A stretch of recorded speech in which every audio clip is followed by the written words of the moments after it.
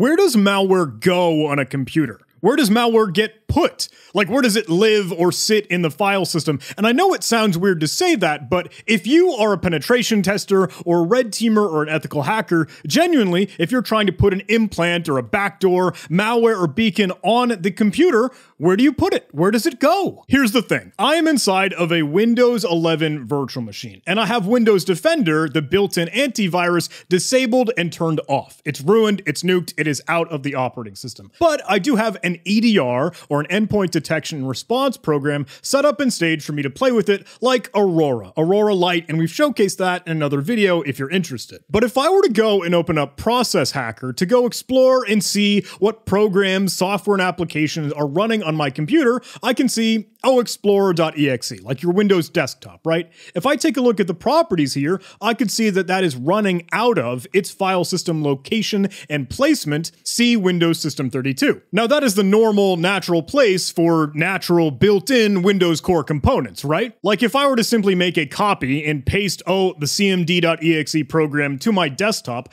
I could close out the one that is actively running and we could go open up this one. And of course, Process Hacker will tell us, look, that's actually running now out of your desktop or some other file system location and placement on the computer. Now, this is where we could get into some of the anomalies, right? Some of the weird stuff, like Explorer.exe should only run out of System32.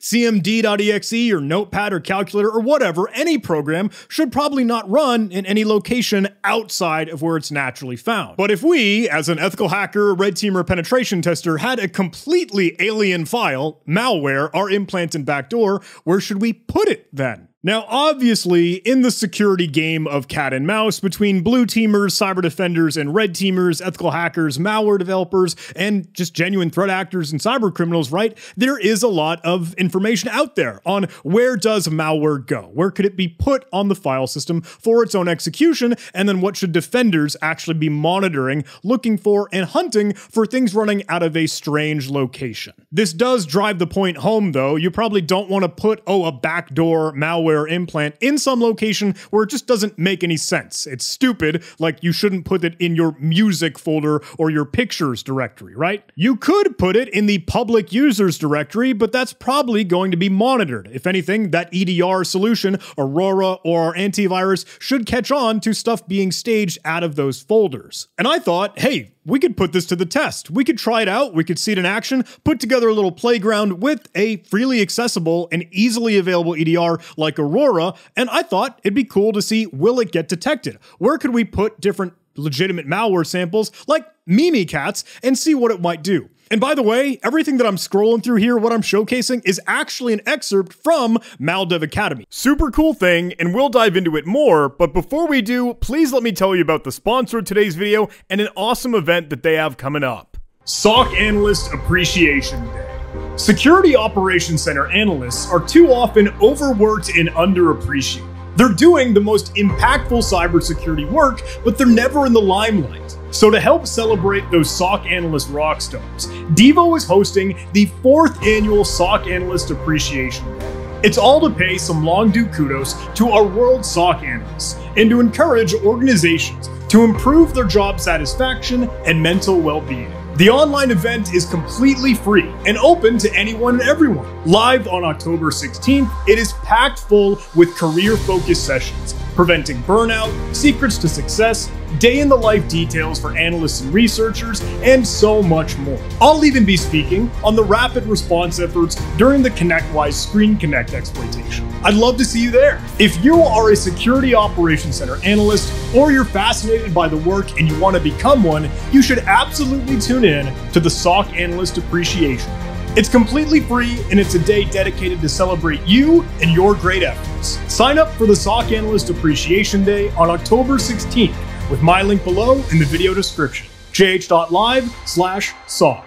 Huge thanks to Devo for sponsoring this video.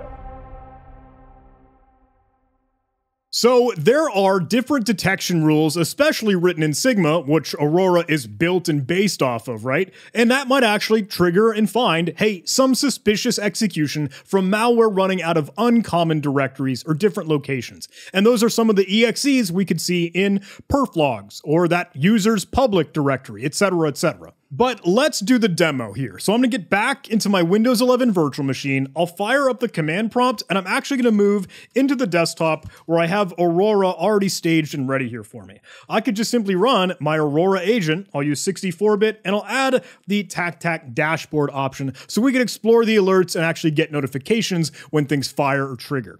Let me spin it up. We'll go ahead and hit yes, and Aurora will start cruising. Okay, now that Aurora is up and running, I actually want to get back to my desktop and I'll paste in real malware, right? Hey, here's our mimikatz.exe. Now you'll already see some alerts coming through from Aurora. That was just a simple indicator of compromise, right? mimikatz.exe, probably not something you should have on your computer. Now, if I double click on this to run it, again, Defender is off, so AV won't fire here, but Aurora and our EDR will kick in. Sees another indicator indicator of compromise match for that file name. Oh, and here's one Sigma hack tool Mimikatz execution.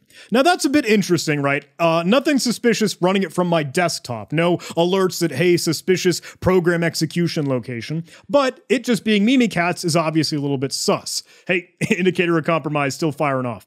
Let me see if I can just simply rename this. Can I uh, show more option? And yeah, let's rename this to Kiwi Simulator clearly not Mimikatz, but the greatest game, a AAA title, Kiwi Simulator. Double clicking on this, no alerts. The indicator of compromise, because it has a different file name now and just the query pattern matching of the rule, did not fire, and Mimikatz isn't going to go fire as well. But running from my desktop is just fine. Let me try to copy this. I'll cut it and I'll go move to another directory where I could go put this. Here I'm in the users directory and I could go navigate to that public users and let me just paste in our kiwisimulator.exe. Double clicking on this, Mimikatz is now running, but we get, hey, execution from suspicious folder. Nothing specific to the Mimikatz file name, but at least a location was triggering this. If I actually go open up the Aurora dashboard, hey, localhost 17494, that will bring us to all of the rules and alerts that had fired here.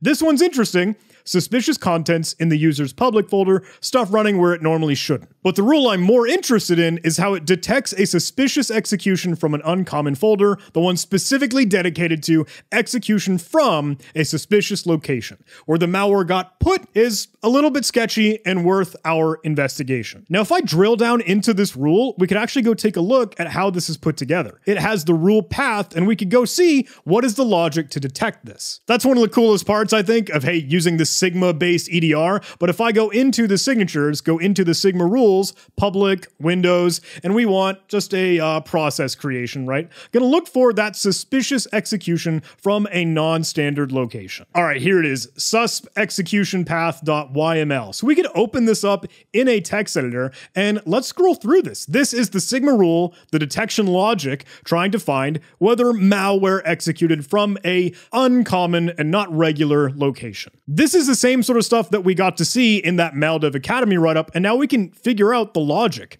It's checking if the image, the executable, the location path contains any of these different locations, like running from the recycle bin, a little bit sketch, different log locations, of course, those different users, and just strange stuff in Windows. Hey, there's my favorite one. C Windows tasks. Oh man, that's a bummer. I always put stuff in C Windows tasks. That's where I normally put some sketchy stuff. Putting Kiwi Simulator in there, of course, will fire. Oh, and by the way, Maldev Academy actually touches on this in their conclusion section. They mention simply dropping a binary into any writable directory, like the public folder or C Windows tasks, is usually done in CTFs. Okay, I'm, I'm guilty there. And other unrealistic environments, which unfortunately teach folks bad OPSEC techniques. For stealth evasion, you know, doing the right stuff with professional red team ethical hacking pen testing malware. So I would get caught dropping into C Windows tasks, but we could dig into more of the logic, at least in this example for the Sigma rule, where could we hide under the radar? The Maldev Academy module even showcases this little chart with some of the statistics and percentage of how often malware gets dropped into some different locations.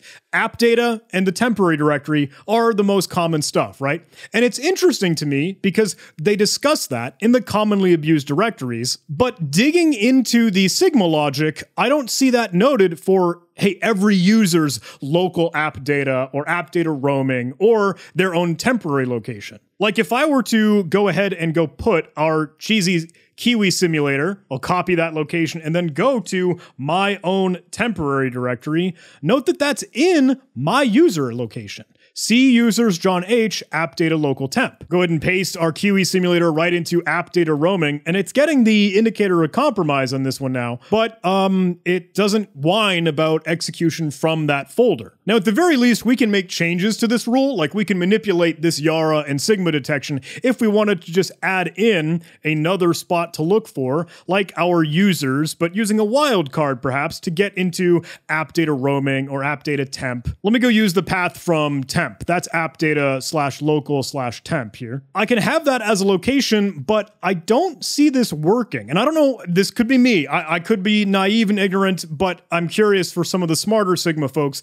Uh, is this wildcard going to work as it should inside of an image filtered on contains? I genuinely don't know, and I'm willing to look like an idiot here because if I were to stop and start Aurora, let me get back to the command line and I'll close out Aurora running and then I'll just start it one more time. Here, restart, so it will reload all those rules. We could have just entered like reload in the command line, but hey, I'm trusting this thing anyway. Now the Aurora is back in action, up and running, would I be able to go try to fire out of the temporary directory my Kiwi simulator.exe. Let me close out some of these uh, other windows and notifications so it's not uh, more annoying and a little bit overwhelming as it already is. So I think we're clear. So the question is, will this rule trying to look for the temp environment variable locations or anything specific to the current user, will that track the execution from a suspicious or uncommon location with my Mimikatz Kiwi simulator.exe? It still doesn't fire. And that, uh, again, maybe I'm getting that syntax wrong or I don't know Sigma well enough. I'm, I'm okay to be the idiot here.